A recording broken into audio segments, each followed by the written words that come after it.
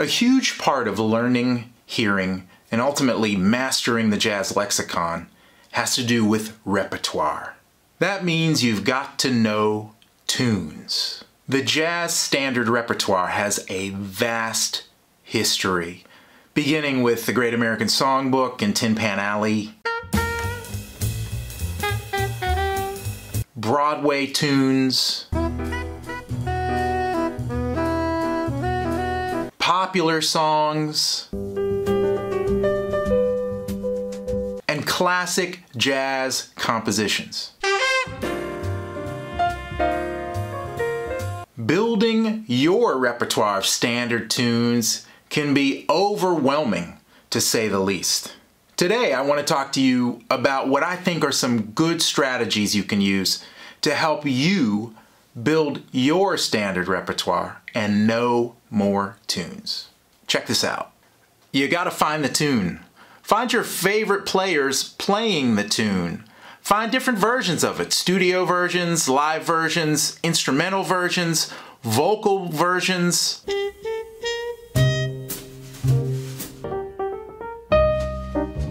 The falling leaves. Get the tune in your head without your instrument so you'll know how it goes.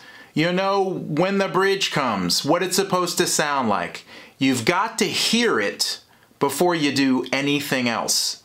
So find a record or four. I talked about this in one of my earlier videos. The tune is the melody. It's not the chords, it's the melody. We can change the chords, we can do a reharmonization, but if we do anything to the melody, it changes the tune itself. Start with the melody. Learn how to play the melody on your instrument.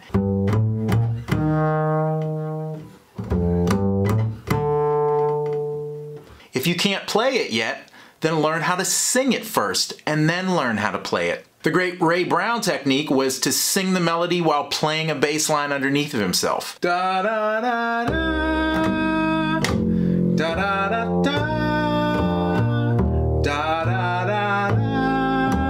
You get the top and the bottom of the music and as a bass player that's the information we need. It helps us fill in the middle, which are the chords. Know the melody, it'll help you with the bass line. Find a piano and sit down and play the changes to the song. The piano is an essential tool, not just for jazz musicians, but musicians in general. If you go to music school, chances are you're gonna have to play some piano, and if you haven't already started, you should sit down and start trying to learn to play some basic chords and basic voicings on the instrument.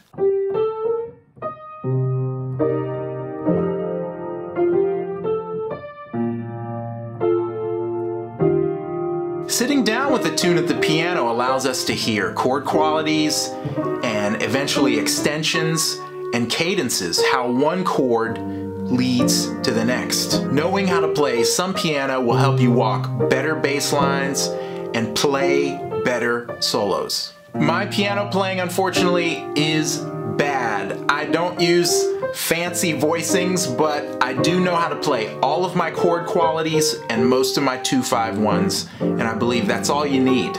You've got to put in the time. There's no easy way around it. There's a difference between being able to play something and knowing a tune absolutely cold. Maybe you've heard the story about Thelonious Monk trying to learn a new tune and playing it for one hour straight.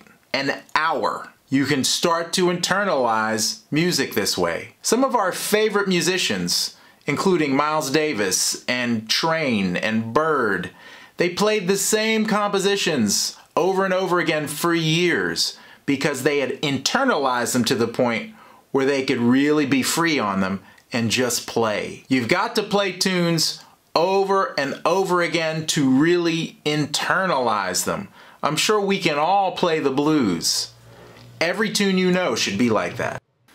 Now, I think most of us can already do this. If I said, let's play a blues in F and uh, let's maybe move it to B flat or C or E flat, I think we could all do that because we're comfortable with that form. But let's say we take Autumn Leaves and we move it, say, up a major third to B minor. How long could you play it without making a mistake? You think you're comfortable with the tune? Move the key around a little bit and see how comfortable you really are. It'll force you to listen.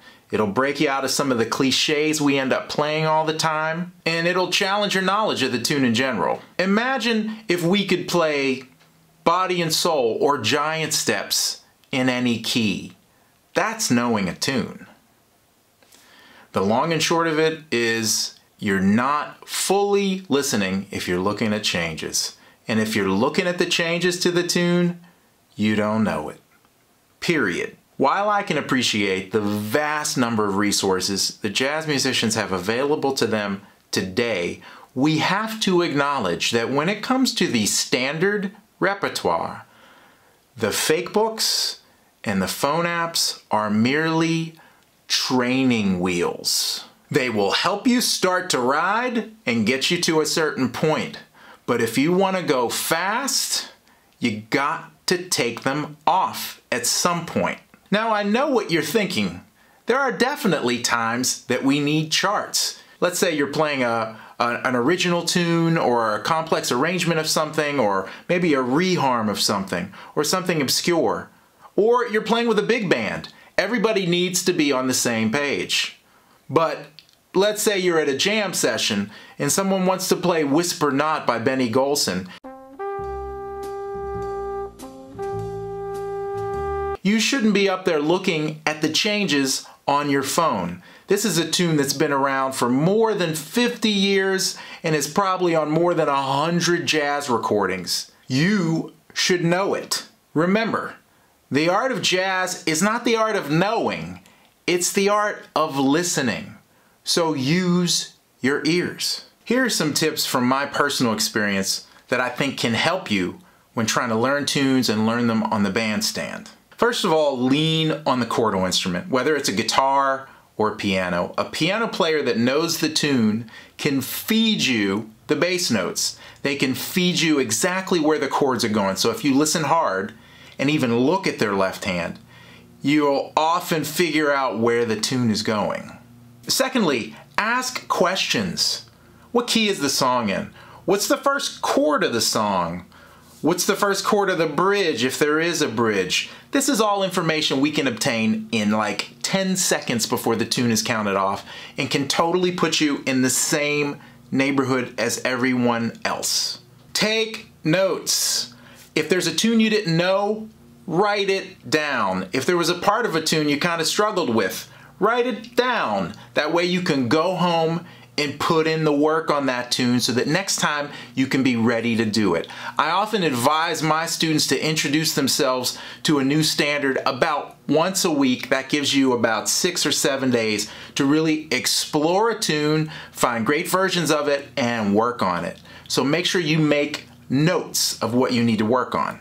Learning new tunes is not that easy. You've got to be willing to struggle through a chorus or two before you really get a foothold in it. So don't be afraid to make mistakes. Trust yourself without the chart and be willing to play a wrong note in order to know what the right one is.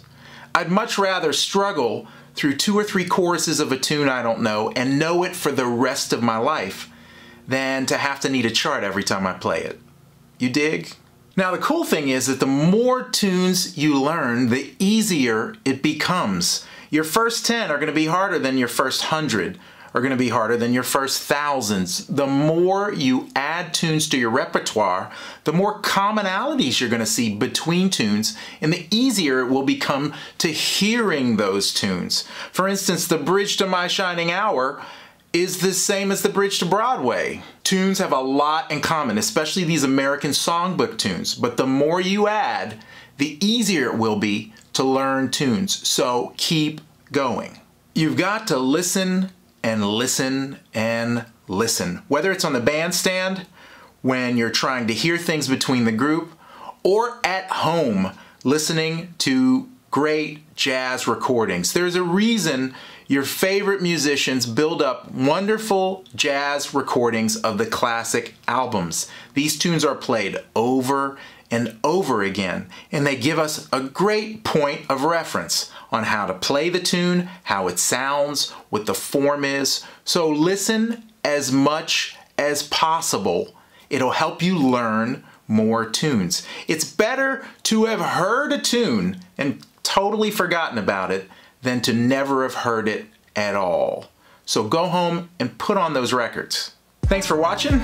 If you like the video, I appreciate a thumbs up, and if you're not a subscriber, please subscribe for all original jazz bass centric content coming at you as fast as I can create it.